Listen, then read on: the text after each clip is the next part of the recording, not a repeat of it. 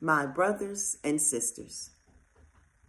And a reed like a measuring rod was given to me, and the messenger stood, saying, Rise and measure the dwelling place of Elohim, and the slaughter place, and those worshiping in it.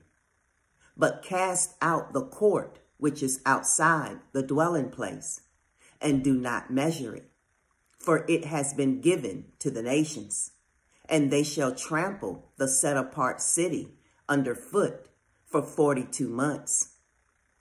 And I shall give unto my two witnesses, and they shall prophesy 1,260 days, clad in sackcloth.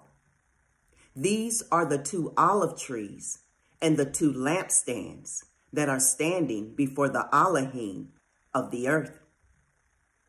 And if anyone wishes to harm them, fire comes out from their mouth and consumes their enemies.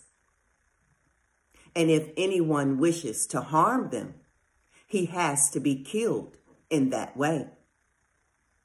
These possess authority to shut the heaven so that no rain falls in the days of their prophecy and they possess authority over waters to turn them to blood and to smite the earth with all plagues as often as they wish.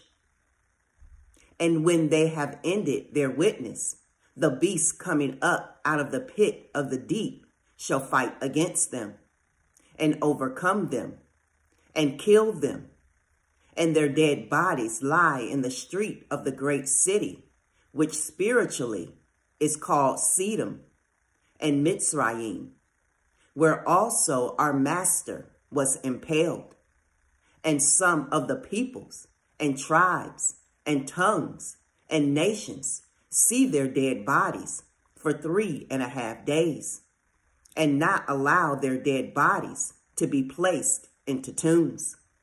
And those dwelling on the earth rejoice over them and exult and they shall send gifts to each other, because these two prophets tortured those dwelling on the earth. And after the three and a half days, a spirit of life from Elohim entered into them, and they stood upon their feet. And great fear fell on those who saw them. And they heard a loud voice from the heaven, saying to them, Come up here. And they went up into the heaven in a cloud, and their enemies saw them. And in that hour there came to be a great earthquake, and a tenth of the city fell. And in the earthquake, 7,000 men were killed. And the rest became afraid and gave esteem to the Elohim of the heaven. The second woe is past. And see, the third woe is coming speedily. And the seventh messenger sounded. And there came to be loud voices in the heaven, saying, The reign of this world has become the reign of our master and of his Messiah, and he shall reign forever and ever.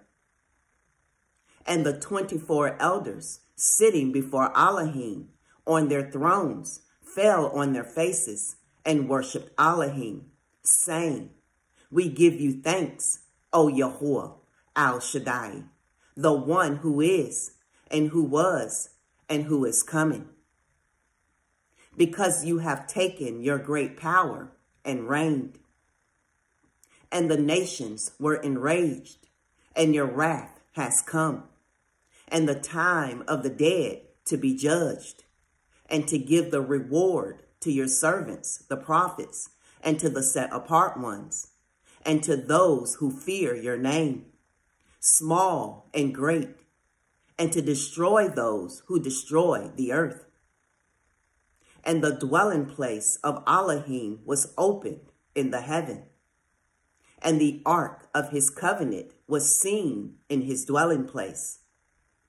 And there came to be lightnings and voices and thunders and an earthquake and great hail. Shalom.